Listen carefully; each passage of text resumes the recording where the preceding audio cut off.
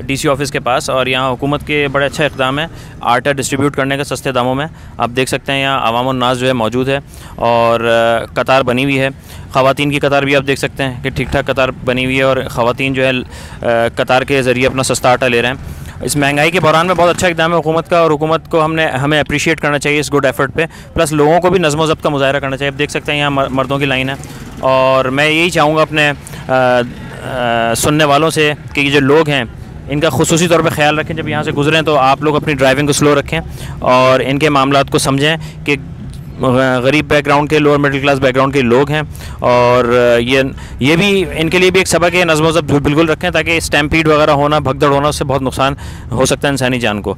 तो इस कैफियत में हमारा मुल्क और हमारी आवाम को फाइट बैक करना है, हुकूमत के साथ मिलकर और आपस में नज़म ज़ब का मुजाहरा करना है। यही मेरा पैगाम है किलोमीटर टी वी की जानव से। प्लस ये है कि मैं यही चाहूँगा आपको बताना कि इसके, इसमें सुबह के टाइम ये शुरू होता है, शाम तक चलता रहता है।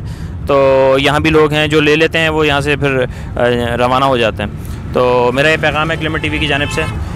और मैं ये चाहूँगा कि मेरी बात को समझा जाए और पूरे मुल्क में फैलाया जाए। पाकिस्तान जिंदाबाद।